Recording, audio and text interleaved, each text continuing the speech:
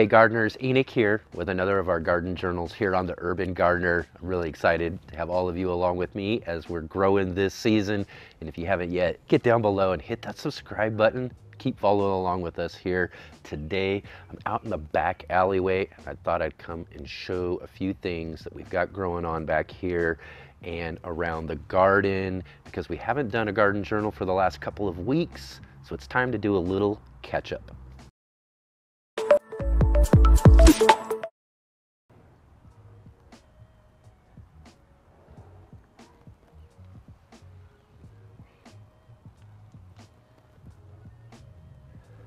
So up here on our back fence line in the alleyway here that crosses into our growing space, last fall we planted out garlic cloves. And these are all of our hardneck variety of garlic here. Cloves provided by one of our viewers, Nancy, who sent these out to me a few seasons ago and that's become one of our mainstay garlic varieties here. As you can see, we're growing quite a bit of it here on the back alleyway. Now back in the back of the alleyway again, I just wanted to show you all also, I've got this area here that I've used as kind of a compost bed, but one that I just kind of threw things on and left it there over the last several seasons and uh, it was just a bunch of grass clippings and different things from the garden, um, tree leaves and things like that as well. But uh, I pulled out and harvested most of this all out here the last couple of weeks and got some really good compost out of it that we're using in other parts of the garden. So what I did after we got it all cleared out is I put a nice good bed of leaves down on the bottom and laid that out with all leaves from last fall. And then I took the remains of all of the sifted compost that I got from this space and then relayered that out and then put a little bit more leaves on top of that. And now we'll just add garden scraps, possibly some more grass clippings and different things. And then we'll turn this every now and then and we'll sift it out again next season for some more really good compost to add some organic matter to our garden beds.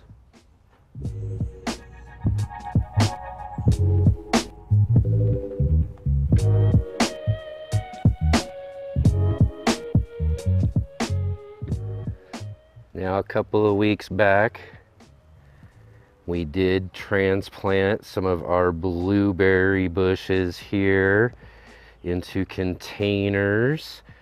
They were in the ground all the way up at the front of the alleyway there, but we put them in these containers and I got them some really good acid loving fertilizer and it's really paying off now as each one of the plants, which hasn't happened in the last couple of seasons that I've been growing these in ground, each one of these plants is putting off lots and lots of flowers.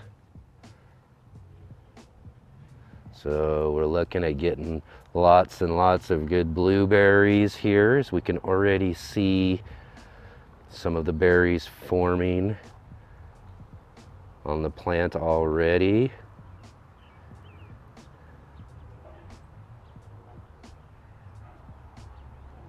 So yeah, looking forward to lots of fresh blueberries coming up here real soon. Plus, on the other side of the fence, right along the base on the inside here in between these containers, we've got a variety of soft neck garlic that I got from a local market, the organic section. We split up the cloves and we planted these last fall, the same time we planted our hardneck varieties on the other side of the fence. And down on the end here, there's four right down there, as well as four on this side here. And these are elephant garlic. Now, elephant garlic isn't really a garlic, it's actually a leek. But uh, these ones though, we're gonna end up having to harvest these probably a little sooner than I'd like to because I've got to get this area back here all prepared and I'm going to build some cages. It's got really good light. So this is where we're going to grow our heaviest tomato for the Johnny Appleseed Organics Gardening Invitational. So we're to have to take those out just a little bit earlier than we'd like, but all of our garlic is pretty much going to be ready to harvest here in just another couple of weeks anyways. A few weeks ago, if you all watched, I'll put an iCard right up above, but we made a video. We planted out potatoes in a cardboard box. Everything seems to be going really well. I did take a lid from one of our containers to use for the bottom. So I'm pretty sure that's pretty much shot by now with all the rain we've had in the last week or so. We usually grow our potatoes in these containers here, storage containers done that for several years now. And last year, I left the potatoes in the container throughout the winter, and now they've started to sprout again. So we're to see what happens when you leave your potatoes behind and see what kind of harvest we can get from potatoes grown in a cardboard box. Take a look at these cabbages. We planted these a couple of weeks back in our elevated raised beds that we have here in the back of our carport. These plants are really starting to take off now. These leaves are starting to get huge. It's curling in, so we're starting to produce that head real soon. Should be some nice cabbages. And a quick look here inside of one of our greenhouses. We've got our tomatoes. We've got a bunch of nice little tomato starts here, just waiting for their space in the alleyway to come open so they can be transplanted as they are pretty much ready to get into the garden here real soon. You can see they've got uh, flowers they're trying to produce right now, which tells us that they are starting to outgrow these containers. So they're gonna need more space for those roots. So we'll have to get them out there real soon. And on the other side, we've got our contenders for the Johnny Appleseed Organics Gardening Invitational that are going to get planted out into that space back there we mentioned earlier when I build out some cages. They're all looking really nice, really strong. I encourage you to check out our video right up above too here that I'll put an iCard for for our competition video on our heaviest tomato. We had Gardener Scott come and visit us and give us an interview and some tips on growing our biggest tomato yet. Also below, we've got some of our flowers, some of our dianthus, and some nasturtiums that we'll be using also for our curated container arrangement for the competition. And in our other greenhouse, it's where we're growing out all of our peppers for the micro pepper farm. We've got lots of really great pepper starts here. They're just getting to putting out their true leaves, so they should be ready to be planted out into the garden plots here in another few weeks. Really excited about seeing how well all of this turns out. So be sure to check out links down below to our micro pepper farm vlogs. And back behind our greenhouse where we are growing our broccoli in these five gallon water wicking containers that I've got in this wooden box here behind our greenhouse. Got lots of really good, big, beautiful broccoli plants growing. Our smaller ones, though, are already starting to push up a couple of small florets already. We've got another one down towards the end as well. I'll cut those off here real soon and try to encourage some side shoots to grow. But I've got some of these, like I said, these other big beautiful plants here that are growing really nicely and are probably about ready to start pushing up their florets as well coming up soon. We should have some fresh broccoli to harvest here in the next couple of weeks, which will be just in time because we're going to have to transplant our peppers into these containers here as we're getting closer to our last frost date.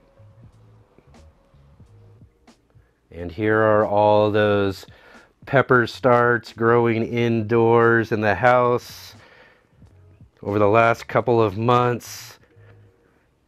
We'll be taking these outdoors this next week in order to start the hardening off process. We'll give them just a little bit of time. Each day we'll add more time until they're staying out overnight and outdoors in the garden for the rest of the season. So we'll show you that process here coming up in our next garden journal. But uh, one of the things I'm trying to keep an eye on here on these plants are these little flowers that are popping up because they're in these little small cup containers. Those plants want to produce flowers and produce fruit so they can get that seed, but trying to take them off each time I see these throughout all of our different plants in order to keep and maintain focus on uh, plant development and root growth for each of these plants. Now when they get out into the garden and into their new spaces and get grown out just a little bit longer, we'll let them resume producing all their flowers and start producing lots of great peppers for us this year. One of the more unfortunate things about growing in the garden is some things just don't last long enough.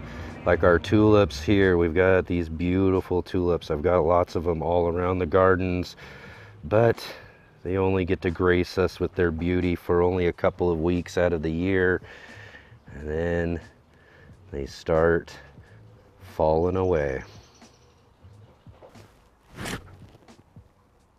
Now, as many of you have seen before, I've got this big pile here in the back of our carport of soil. Now, this soil here is just a basic mix of recycled soil that I've taken from plants and pots and starts that uh, we've already gone through and used and we've mixed it up with more compost and different uh, organic materials in order to revitalize this soil for our new containers that we're going to be growing out this year. And we've got plenty more of these containers other than the ones that are growing our broccoli that we need to fill up and get ready for all of those pepper starts that we've got growing indoors. So we're going to need to fill up plenty of these containers, get them ready to go as we'll be needing them to transplant here in just a couple weeks. Also, one more look here for those of you who may not have seen these on our channel yet, but these are our five gallon water wicking buckets. Now I grow a lot of different things in these. This has been one of the coolest additions to my gardens when I first started gardening.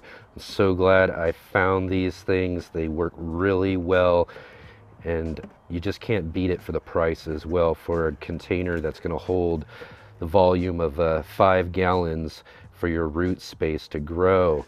Now these are just two five gallon buckets, one put in side of the other. So you can see how that net cup comes down below. We got our PVC pipe comes down there too to feed water down into the bottom bucket.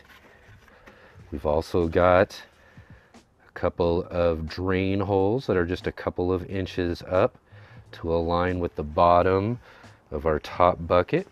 Now we've got a bunch of holes we've drilled around there to allow for drainage and a three inch hole that we drilled for our three inch net cup that we're going to fill up with soil. And that will absorb the water up into our root system, basically wicking it up in there. And that way our plants can stay hydrated throughout the warm season. We put a one inch hole there in order to fit our PVC pipe that we have here that feeds the water down into our bottom bucket.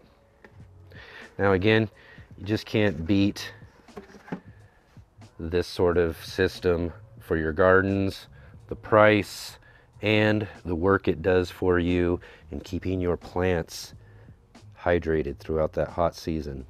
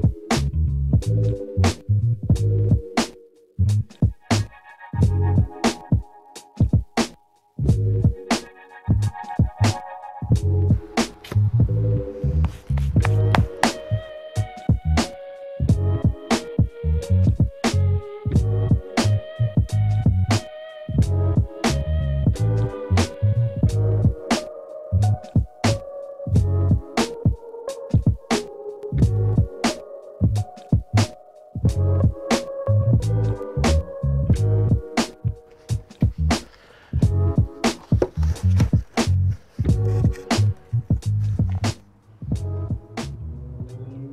all right, we've got most of these containers all filled up. I've still got a few more over there I've got to go finish up, but it's nice to have these all ready for all those really awesome pepper starts that we're going to have transplanted out into our back patio garden space here real soon as our last frost date is closely approaching. And it's really nice to be able to get caught up with some of the other things that we've got growing on here in our garden spaces. I mean, we've got so much growing on this season. I'm really glad that all of you are following along with me here on the Urban Gardener to see all of this wonderful stuff growing. And if you haven't yet, hit that subscribe button down below and follow along with us. Take a bigger and closer look at our back patio spaces here that you can see. It's growing a lot of great stuff too.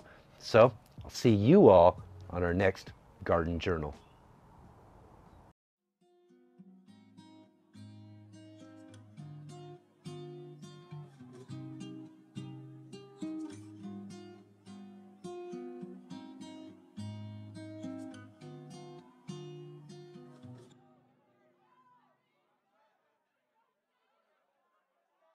For all those wonderful tra- our so all right got wait wait. See all of you on our next visit darn it that was pretty good though. Here the, uh, where's my finger there we are. We've also got some more varieties of whoa what are you doing? Georgie, what are you doing, boy? Huh? Yeah, you want to be on camera too? Yeah?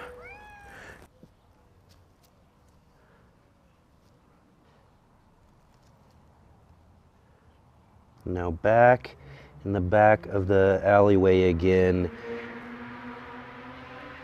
About that timing have a look and catch up on some of the other things going on around the gardens.